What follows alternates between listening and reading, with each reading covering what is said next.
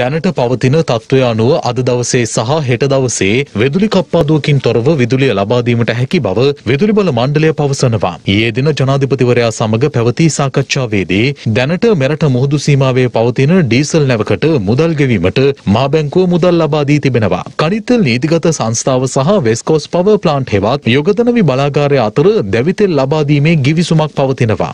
ගිවිසුම ප්‍රකාරව එම බලාගාරය සඳහා පමණක් දැවිතෙල් ලබා දීමට කනිතෙල් නීතිගත සංස්ථාව සතුව දැවිතෙල් පැවතියා. කෙසේ වෙතත් විදුලි බල මණ්ඩලයේ සපුගස්කන්ද සහ බාච්චන දැවිතෙල් බලාගාර සඳහා අවශ්‍ය දැවිතෙල් ලබා දීමට කනිතෙල් නීතිගත සංස්ථාව එකඟ වී තිබුණේ පසුගිය 22 වෙනිදා දක්වා පමණයි. කෙසේ නමුත් යොගදනවි බලාගාරය දැවිතෙල් වලට අමතරව ඩීසල් වලින්ද විදුලි උත්පාදනය කිරීමට හැකි බලාගාරයක්. ඒ අනුව මුදල් ගෙවා නිදහස් කරගන්නා ඩීසල් නැවෙහි ඇති ඩීසල් තොගයක් යොගදනවි බලාගාරය වෙත ලබා දී යොගදනවි බලාගාරයට ගිවිසුම්ගතව ලබා දෙන දැවිතෙල් සපුගස්කන්ද සහ බාච්චන බලාගාර වෙත ලබා දීමට කනිතෙල් නීතිගත සංස්ථාව ඊයේ දින පැවති සාකච්ඡාවේදී එකඟ වී තිබෙනවා.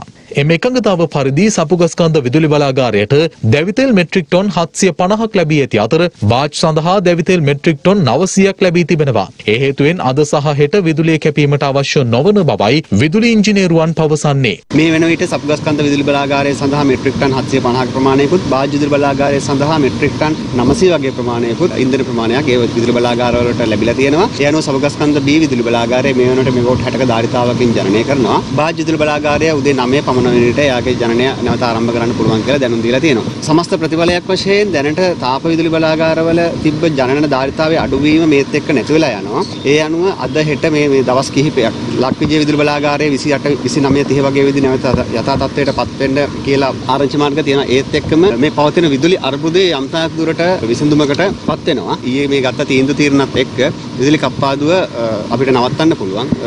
රටේ මහ ජනතාවට අකණ්ඩ විදුලි සැපයීමක් දෙන්න පුළුවන් කියලා මේ අවස්ථාවේ ප්‍රකාශ කරන්න පුළුවන්. කෙසේ වෙතත් දැනට පවතින ජනන ධාරිතාව සහ මෙරට පරිභෝජනයට අවශ්‍ය විදුලි ප්‍රමාණය එක සමානව පවතින බැවින් එක් ජනන යන්ත්‍රයක් හෝ අක්‍රිය වුවහොත් විදුලි කප්පාදුවකට යාමට සිදුවන බව විදුලි ඉංජිනේරුවන් වැඩිදුරටත් පවසනවා.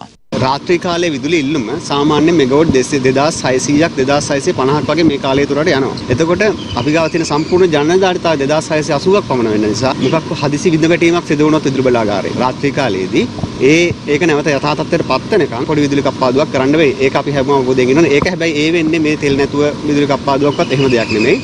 හදිසි බ්‍රේක් ඩවුන් එකක් හින්දා. මේ අතර විදුලි උත්පාදනයට අවශ්‍ය ජලය මේ දිනවල වැඩියෙන් ලබා ගැනීමත් සමග ජලාශ රැසක ජල ධාරිතාව තවදුරටත් පහළ බැස ඇති බව ජලාශ භාර ඉංජිනේරුවන් පවසනවා. ඒ අනුව මවුස්සා කැලේ ජලාශයේ ජලාශ වේල්ලේ උස අඩි 120ක් වන අතර මේ වන විට එම ජලාශයේ ජලය අඩි 80.9ක් දක්වා පහළ බැස තිබෙනවා. එමෙන්ම කාසල්රි ජලාශයේ ජල වේල්ලේ උස අඩි 155ක් වන අතර මේ වන විට එම ජලාශයේ ජලය අඩි 134ක් දක්වා පහළ බැස තිබෙනවා. තවද ලක්ෂපාන ජලාශයේ වේල්ලේ උස අඩි 82ක් වන අතර එහි ජල ධාරිතාව අඩි 75.2ක් ලෙස පහළ බැස තිබෙනවා. මේ අතර විමල සුරේන්ද්‍ර ජලාශයේ වේල්ලේ උස අඩි 91ක් වන අතර එහි ජල ධාරිතාව අඩි 86.8ක් දක්වා පහළ බැස තිබෙනවා. කැනියොන් ජලාශයේ වේල්ලේ උස අඩි 55ක් වන අතර එම ජලාශය මේ වන විට අඩි 49.1ක් දක්වා පහළ බැස ඇති බවයි ජලාශ බහර ඉංජිනේරුවන් පවසන්නේ. මේ අතර විදුලි බල මණ්ඩලයට අදාළ ඉන්ධන ඍජුවම ලබා ගැනීම සඳහා වූ යෝජනාවලියක් ඊයේ දින පැවති කැබිනට් මණ්ඩල රැස්වීමට ඉදිරිපත් වී ඇති බවට තොරතුරු වාර්තා වනවා. එම යෝජනාව ඉදිරිපත් කර ඇත්තේ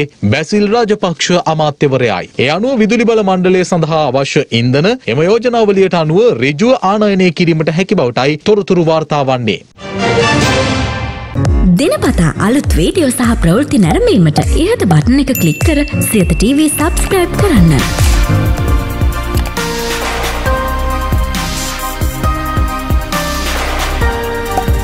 අලුත් වීඩියෝ ගැන මුලින්ම දැනගන්න මෙම සීනුව ක්ලික් කරන්න.